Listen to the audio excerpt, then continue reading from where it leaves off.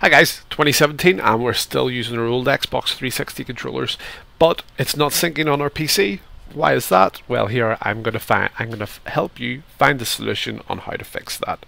So what we want to do is we want to go to our Windows tab here, or Start screen, or Start button that it used to be called.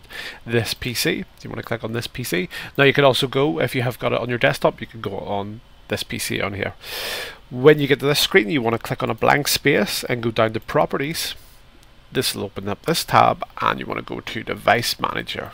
So right click device manager. This will bring up this right screen device manager. From here you want to go down to other devices and if it's like this you want to click on it and you want to see this triangle unknown devices this is most most probably going to be your uh, unsynced Xbox 360 controller. So click on that. We go to update driver software. From this we want to go to browse my computer for driver software because we don't need to go online.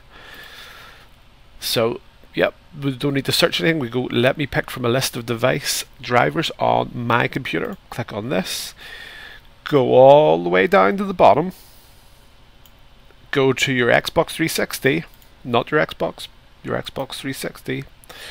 Go to next.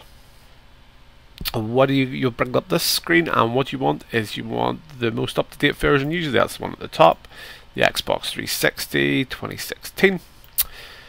We hit next. Not recommended, that's alright, we'll hit yes and we'll install the driver software. There we go the Xbox 360 controller should be synced in now. Um, I hope this has helped, and thanks for having, thanks for watching and listening to me. Cheers, bye.